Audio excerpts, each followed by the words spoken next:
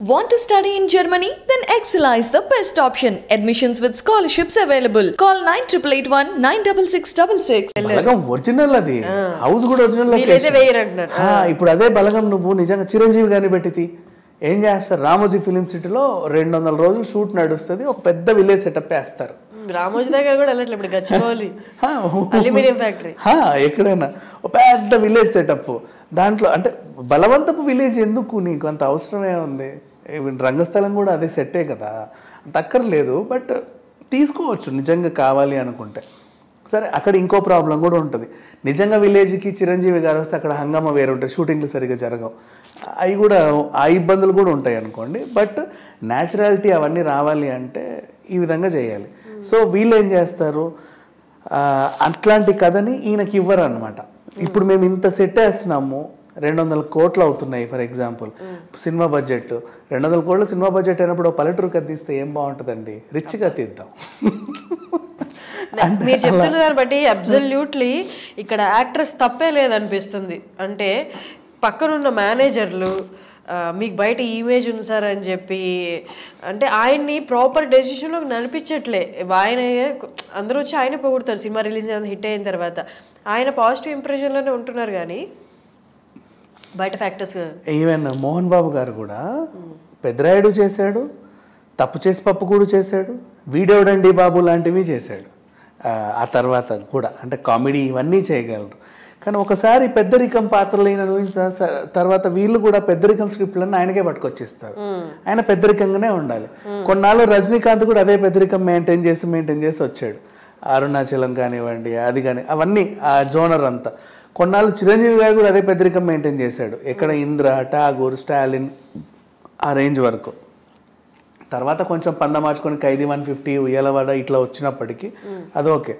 కొన్నాళ్ళు ఇంకా బాలయ్యకృష్ణ గారు అయితే ఇప్పటికీ అదే పెద్దరికం మెయింటైన్ చేస్తున్నారు. బట్ ఇట్స్ ఓకే తనకు తగ్గ కథలు వచ్చి ఆయన సక్సెస్ అవుతున్నారు. అది వేరే మార్చినట్టు కూడా అనిపిస్తుంది మధ్యలో. అవును. ఇదొకటి. సో ఒక మనిషి ఇలా ఉన్నాడంటే అలాగే కంటిన్యూ చేద్దామని వాళ్ళు వీళ్ళకి ఏంటంటే అలాగే కంటిన్యూ అయ్యి కంటిన్యూ అయ్యి కొంత ఒక స్టేజ్ వచ్చిన తర్వాత అదే ముద్ర పడిపోతుంది. నెక్స్ట్ వేరే యాక్టింగ్లు రావట్లా. అవును. బాల బాలకృష్ణ గారు ఎయిటీస్ నైన్టీస్ టూ థౌసండ్ వరకు కూడా వర్స్టైల్ యాక్టింగ్ ఉంది. వర్స్టైల్ క్యారెక్టర్స్ వచ్చాయి ఆయనకి. అవును. భైరవ ద్వీపము అందులో ఆ. పాత్రలు ఇవన్నీ చేశారు కదా. తర్వాత అదే పందా వచ్చిన తర్వాత మళ్ళీ ఎప్పుడు పైసా వసూలు అప్పుడు పూరి జగన్నాథ్ ఆయన కొంచెం ఫంకీ ఫంకీ లుక్ ఇస్తే ఓహో ఈయన ఇవి చేయగలడా? మరి ఇవన్నీ అప్పుడు ఎందుకు చేయించలేదురా బాబు అనుకుని ఇప్పుడు బాధపడుతున్నా ఊ కొడతారా ఉలిక్కి పడతారాలో కూడా.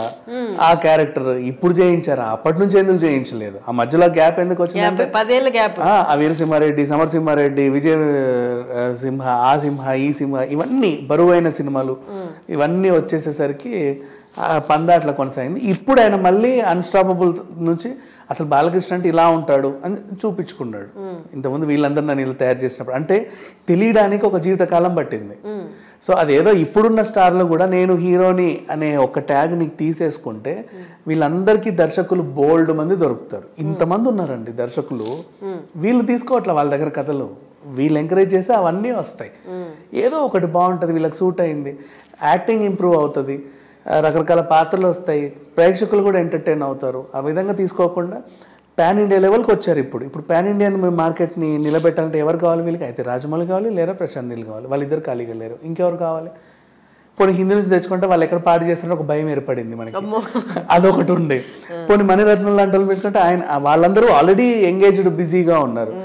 శంకర్ ఒక్కొక్క సినిమా ఐదేళ్ళు ఆరేళ్ళు తీస్తాడు. సో ఇది లేదు. డైరెక్టర్స్ లేరు అనే ముద్ర వేసేసారు వీళ్ళు. డైరెక్టర్స్ ఉన్నారు. మీరు వాళ్ళని కూడా తీసుకొచ్చి ఇక్కడ పెట్టండి. వాళ్ళు తీస్తారు. Nani Dasara director. First director. ఆయన ఫస్ట్ సినిమా. ఫస్ట్ సినిమానే ఒక లెవెల్ తీసుకెళ్ళాడుగా. Virupaksha first cinema. ఆయన కూడా ఒక లెవెల్ తీసుకెళ్ళాడుగా. దే విల్ డూ ఉండే అవకాశం ఇవ్వండి.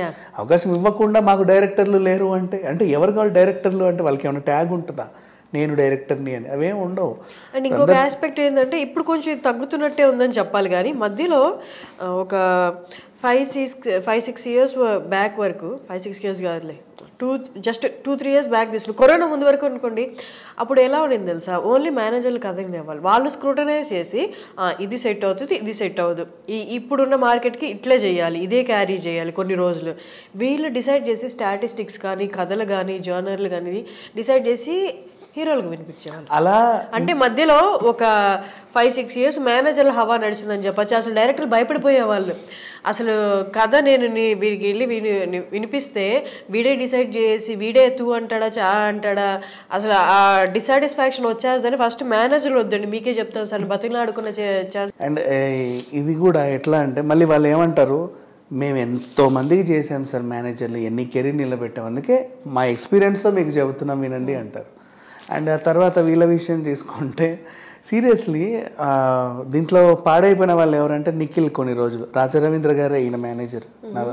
ఈవెన్ మన అబ్బాయి పేరెంట్ ఉయ్యాల జంబర్ రాజ్ తరుణ్.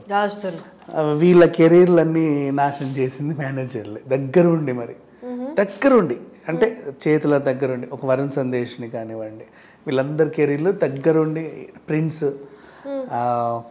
ఇంకా చెప్పుకుంటే ప్రిన్స్కి ఏం తక్కువ? ఒడ్డు పొడు బాగానే ఉంటాడుగా? యాక్టింగ్ బాగానే చేస్తాడు. మరి సినిమాలు ఏవి క్యారెక్టర్ ఆర్టిస్టులు చేసుకోవాల్సిన పరిస్థితి ఏంటి? అండ్ నెక్స్ట్ మన ఆది. అది సాయి కుమార్. సాయి కుమార్ గారు అబ్బాయి. నెపో కిడ్ వాళ్ళ డాడీ ఇండస్ట్రీలో అందరికీ తెలుసు. ఒక పెద్ద మనిషి ఇప్పటికీ సినిమాలు చేస్తున్నారు మరి కొడుకు కెరీర్ ఎందుకు నిలబెట్టలేదు? అబ్బాయికి డాన్స్ రాదా? యాక్టింగ్ రాదా? ఉన్నారు కదా. అంటే దిమ్మలా నిలబడే వాళ్ళకి కూడా కోట్ల కోట్లు పెట్టి సినిమాలు తీసే ఉన్నాయి. అండ్ వీళ్ళకి ఏం తక్కువ? ఆల్రెడీ పది సినిమాలు చేస్తున్న వాళ్ళు యాక్టింగ్ కూడా ఇంప్రూవ్ అయ్యారు బాగానే ఉన్నది ఇట్లా జస్ట్ మేనేజర్ల మాటలు విని. వాళ్ళు ఏంటంటే పెద్ద డైరెక్ట్ పెద్ద ప్రొడ్యూసర్ వచ్చాడు అనుకోండి ఫర్ ఎగ్జాంపుల్ నలభై కోట్లు పెట్టే ప్రొడ్యూసర్ వచ్చాడు అనుకో వీళ్ళ కమిషన్ ఇంకా ఎక్కువ వస్తుంది. చిన్న సినిమాలు రెండు తీశారనుకో కమిషన్ తక్కువ వస్తుంది. ఈ పది కోట్లు పది కోట్ల సినిమాలు రెండు చేసే బదులు నలభై కోట్ల సినిమా ఒకటే చేస్తే ఇప్పుడు ఈ పది కోట్ల సినిమాకి నాకు ఒక కోటి రూపాయలు వచ్చింది. సింపుల్గా ఫర్ ఎగ్జాంపుల్ కోటి రూపాయలు వచ్చింది అనుకోండి. ఇంకో పది కోట్ల సినిమాకి కోటి రూపాయలు వచ్చింది. ఈ పది కోట్ల సినిమా అవ్వడానికి ఆరు నెలలు ఆ సినిమా అవ్వడానికి ఆరు నెలలు. సంవత్సరంలో ఈయనకు రెండు కోట్లు వచ్చాయి. అదే డైరెక్ట్ నలభై కోట్ల సినిమానే ఒప్పుకున్నాను అనుకో ఆరు నెలలు అదే తీసామనుకో. ఇంకో అక్కడ నాకు నలభై కోట్ల సినిమా అంటే నాలుగు కోట్లు వచ్చాయి హాఫ్ డే ఇయర్లో ఆ మిగతా హాఫ్ ఇయర్ ఇన్న మీద నేను ఇంకో బిజినెస్ చేసుకోవచ్చు కదా. సో వీళ్ళ బిజినెస్ వాళ్ళ బిజినెస్లని మేనేజ్ చేసుకోవడానికి హీరోల డేట్లను అడ్జస్ట్ చేసుకుంటూ కథలు విననీయకుండా వచ్చిన వాళ్ళని గెంటేసి ఎందుకంటే సినిమా ఎంత బడ్జెట్ ఉంటే మేనేజర్ కమిషన్ అంత ఉంటుందండి. అందుకే వీళ్ళు ప్రతి సినిమాకి బడ్జెట్ పెంచడానికి హీరో రెమ్యునరేషన్ పెంచడానికి ట్రై చేస్తూ ఉంటారు. మనమేమో అయ్యో హీరోలు రెమ్యునరేషన్లు పెంచేస్తున్నారని చెప్పి బాధపడతాం. కానీ ఇక్కడ జరిగే వ్యవహారం ఇది. అండ్ నెక్స్ట్ ఇంకొకటి మొన్న రీసెంట్గా వచ్చింది మేనేజర్ టాపిక్ వచ్చింది కాబట్టి రష్మిక మందనది ఒక టాపిక్ బయటకు వచ్చింది. మేనేజర్ నైంటీ ల్యాక్స్ మోసం చేశారు అని. చూసారా అది మీరు? నైంటీ ల్యాక్స్ మోసం చేశారు మేనేజర్ ఏంటంటే ఈమె నమ్మింది. నమ్మింది. ఆయన కూడా అదేంటిది మోసం చేశారు అది నా కమిషన్ అని చెప్పుకుంటున్నాడు. ఈమె నమ్మింది. బికాజ్ ధైర్యంగానే తీసుకున్నాడు ఆయన కమిషన్. ఆయన ఏమి ఈమెని మర్డర్ చేసో మాయ చేసో తీసుకోవాలా. ధైర్యంగానే తీసుకున్నాడు. ఈమె కూడా మోసపోయిన లేట్గా గ్రహించింది. అంటే ఇప్పుడు ఇంకొకటి కూడా కొన్ని కొన్ని చోట్ల ఇప్పుడు నాకు మీకు రెమ్యునరేషన్ ఐదు కోట్లు అని చెప్పా నేను అక్కడ పది కోట్లు మాట్లాడుకుంటా. కానీ మీకు ఐదు కోట్లనే చెప్తా. ఇవి కూడా ఉంటాయి. చాలా రకాలు ఉంటాయండి. మీడియేటర్స్ మ్యాజిక్స్ చాలా చెక్ ఈమె పేరు మీదే వస్తుంది కదా. అది అక్కడ ప్రొడ్యూసర్స్ వాళ్ళతో టైప్ అయి ఉంటారండి వీళ్ళందరితో టైఅప్ అయ్యే ఉంటారు. అండ్ నెక్స్ట్ ఆ ప్రొడ్యూసర్ కూడా ఈమె డేట్ మీకు ఇప్పించాలంటే నేనే. ఇప్పుడు ఆమె డేట్లు మీకు కావాలంటే మీరు ఎట్లా ఆమెకు పది ఇస్తున్నారు? స్ప్లిట్ చేయండి నాకు ఇవ్వండి నేను బాగుపడితే మీకు డేట్లు వస్తాయి. దగ్గరుండి మీకు షూటింగ్ పంపించే ఏ కష్టం లేకుండా తీసుకుంటున్నారు జస్ట్. అంతే కదా. కష్టమేమో యాక్టర్ నువ్వు ఎలాగో పది రిలీజ్ చేయాలని అనుకున్నావు కదా అది మేము ఏం చేసుకుంటా నీకెందుకు? నీకు కావాల్సింది పది పది పంపడం హీరోయిన్ టైంకి నీ దగ్గర ఉండడం. ఇంతే కదా వ్యవహారం? మిగతా అయినా నీకెందుకు? ఆమె బాగుపడితే నీకెందుకు? బాగుపడకపోతే నీకెందుకు? ఆ రేంజ్లో ఇవి ఉంటాయి. అండ్ ఇంకోటి వీళ్ళు ఇప్పుడు కథలు వస్తాయి. డైరెక్టర్ కొత్త డైరెక్టర్. సార్ ఇట్లా హీరోని కలవాలి ఒక కథ ఉంది. ఏం కదా ఎలా ఉంటుంది? అంటే ఓపెన్ చేస్తే ఒక గుడిసెలో నుంచి హీరో అనగానే "సార్, ఇవన్నీ చేయట్లేదు సార్. పో బయటికి వెళ్ళిపో. ఎందుకంటే అమ్మో ఎక్కడ ఈ బడ్జెట్ మనకి వర్కౌట్ అవ్వదేమో అని చెప్పేసి. నెక్స్ట్ అదే ఇంకొకటి వచ్చేసి అలా అంతరిక్షం నుంచి హీరో దిగంగానే ఉండు కల్పిస్తా అక్కడే కూర్చో అని చెప్పేసి. ఇట్లా మేనేజ్ అంటే వాడి స్వార్థం వాడు చూసుకొని ఇప్పుడు వీడు ఏం చేస్తాడు నిజంగా హీరో గుడిసెలో నుంచి వస్తే ఆర్ట్ ఫిలిం హిట్ అయ్యేది. ఈయనకు మంచి పేరు వచ్చేది. అదే హీరో అంతరిక్షం నుంచి దిగితే ఇది ఓవర్ అయిపోయి మరి ఫ్లాప్ అవుతుంది సినిమా. విఎఫ్ఎక్స్ కూడా సెట్ అవ్వక. ఇప్పుడు ఇక్కడ బ్యాలెన్స్ బాగుపడింది ఎవరు? మేనేజర్. నష్టపోయింది ఎవరు? నిర్మాత హీరో డైరెక్టర్ అందరూ. ఇవి కూడా ఉంటాయి. వీళ్ళు కూడా ఓ రెండు అడుగులు ముందుకేసి కొత్త డైరెక్టర్స్ అందరిని ఎంకరేజ్ చేస్తూ కొత్త కొత్త కథలు వింటూ నిజంగా వీళ్ళు సరిపోతే తీసుకోండి. నచ్చకపోతే వదిలేయండి. బలవంతం ఏం లేదు కదా. సరిపోతాను అరే ఈ కథలు. ఎందుకంటే మీరు కూడా రకరకాలుగా మోల్డ్ చేసుకుంటేనే ఒక పర్ఫెక్ట్ యాక్టర్స్ అవుతారు. ఇప్పుడు ఎన్టీఆర్ కూడా ఆర్ఆర్ఆర్లో కూడా ఇప్పుడు ఆయన పేదోడ్లా చేశాడు. అంతే కదా. సో ఇప్పుడు ఎన్టీఆర్ మన మళ్ళీ అలాగే యమదొంగలో తీసుకున్న ఆ క్యారెక్టర్ ఆ బరువైన ఏది మన గెటప్ వేసుకొని చేసింది. అండ్ నెక్స్ట్ అలాగే రిచ్ కిడ్గా చేసింది కూడా ఉన్నాయి.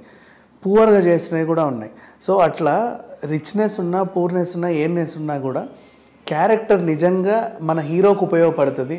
ఈ క్యారెక్టర్ వల్ల నా హీరో బాగుపడతాడు. నా హీరో బాగుపడితే నేను బాగుంటాను ఆలోచించే మేనేజర్లు చాలా తక్కువ మంది ఉన్నారు. సో అందుకని చెప్పేసి ఓవరాల్గా ప్రొడ్యూసర్లు మాకు పెట్టడానికి చిల్లర ఉన్నాయి నటించడానికి హీరో డేట్లు ఉన్నాయి కానీ తీయడానికి సినిమాలు లేవు అనే పరిస్థితికి వచ్చారు ఓవరాల్ సో డైరెక్టర్స్తో మనం డైరెక్టర్స్ లేరనే కాన్సెప్ట్ దగ్గర నుండి ఏ ఫ్యాక్టర్స్ డైరెక్టర్స్ని దగ్గర రానికుండా చేస్తుంది ఆ, అవకాశాలు డైరెక్టర్స్ దాకా వెళ్ళకుండా చేస్తుంది మొత్తం మనం డిస్కస్ చేసాము సో నెక్స్ట్ వీడియోలో ఇంకో టాపిక్తో కలుగుతాం థ్యాంక్ యూ విజ్ఞాన్ గారు. చాలా ఇన్ఫర్మేషన్ షేర్ చేశారు. Thanks a lot thank you so much